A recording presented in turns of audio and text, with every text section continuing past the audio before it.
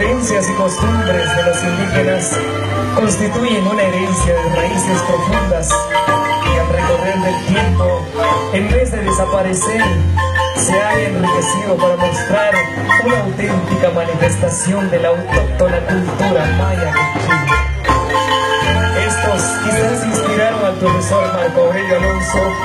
a conservar el legado histórico de nuestros antepasados, típicos, que poco a poco se estaban perdiendo por falta de una identidad que se preocupara por preservarlos. Inquieto por la palabra festival que se encontraba y se escuchaba a otras latitudes en diferentes eventos que se realizaban, Marco Aurelio Alonso crea y organiza el primer festival folclórico verapacense, llamado así en sus génesis, porque solamente participaban en ese entonces bellezas indígenas representativas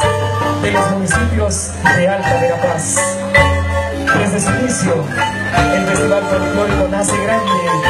pues es inmensa la cantidad de público que presencia la elección y investidura de la princesa de Sutlán, la primera que tiene ese honor en una gran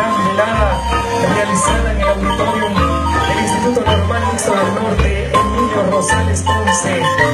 la última semana del mes de junio del año 1969. En 1970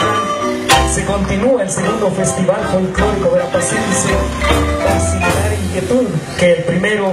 pero con mayor número de municipios participantes. Continuamos y es el turno de deleitarnos con un son